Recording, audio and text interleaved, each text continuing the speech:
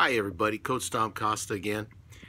I uh, got those storage lockers and uh, I've sourced through a bunch of the stuff and I got to source through more of it and I have a special surprise for you. Jimi Hendrix was in the locker. He left way too soon, way too talented. Too many stories of people like that. Doesn't diminish the gift, but we've got more stories ahead. Oh my goodness. I found the money in the storage locker. Well, I'll have to add that up later. I got more to source. Maybe I'll find more. But look what I found. Oh my goodness. A certificate of appraisal for a ladies platinum ring at, a, at about $2,400. Also with it,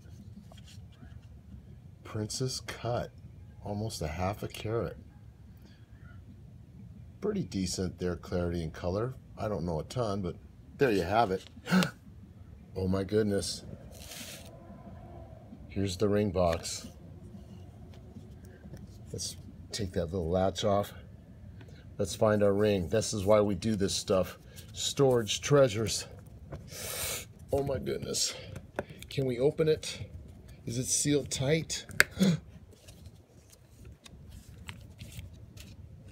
Maybe I'll find a jewelry box that this opens to. I don't see anything in here at all. Not a thing. Nothing. Can't feel anything in there. Nothing. What you usually find at storage lockers. Great stories though. They're worth tons. Anyway, I'll catch you on the next clip. Some stuff you find is pretty cool, like the Hulk. But the Valentine's Gorillas, it's going to sell for a song, but how could you resist not keeping this and selling it? It did make the trash pile for sure.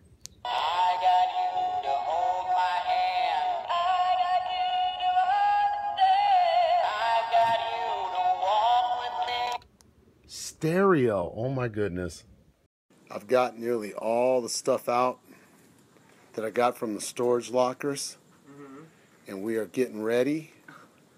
We are going to get some buyers over that I've got on a list that buy regularly to come over tomorrow to go through some of this. We get all kinds of interesting things, watercolors, etc. Some good stuff. I just had to show these. I could give you a shameless plug for some kind of item, but I'm not. But this is what I do with my yard sale stuff. This is going to be the end, but I'll finish up by saying I do my yard sales with early bird days, and I finish up on Saturday.